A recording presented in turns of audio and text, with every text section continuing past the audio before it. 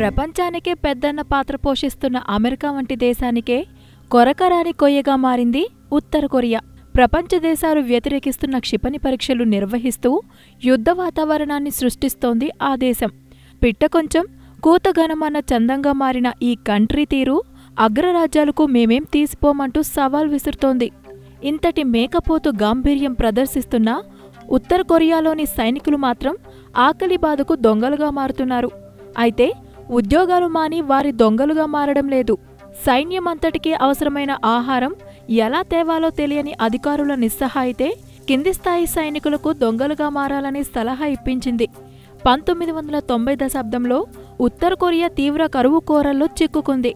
అది మొదలు నేటి వరకు దేశంలోని ఏ ప్రాంతంలో పేదవాడు మూడు పూటల భోజనం చేసిన దాఖలు లేవు. ఉత్తర కొరియాలోని ఉత్తర ప్రాంతంలో ప్రతి ఏటా సెప్టెంబర్ ప్రారంభం నుంచి మొక్కజొన్న పంటను రైతులు అత్యధికంగా పండిస్తారు. దీంతో ఆ పంటను దోచుకునేందుకు కింది స్థాయి సైనికులను అధికారులే ప్రోత్సహిస్తున్నారు. దొంగతనం చేయడానికి సైనికులు వెనకడితే యుద్ధం వస్తే ఆఖరితో అలమటించిపోతారని భయపెడతారు.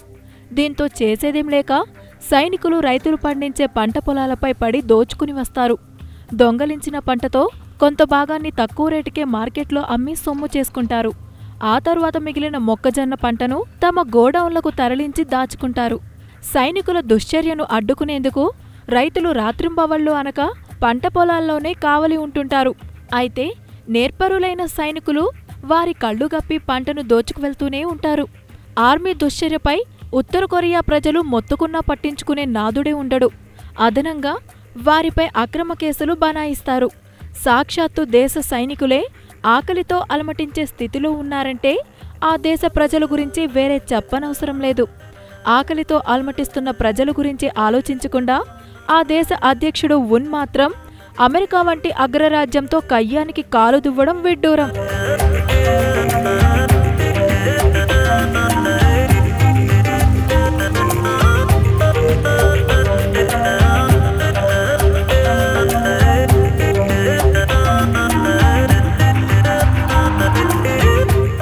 Hi Vijay Deverakonda please do subscribe to new waves ఇలాంటి మరిన్ని మంచి వీడియోలు కావాలని కోరుకుంటున్నారా? అయితే పక్కనే ఉన్న గంట సింబల్ను క్లిక్ చేయండి. అలాగే సబ్స్క్రైబ్ చేయండి.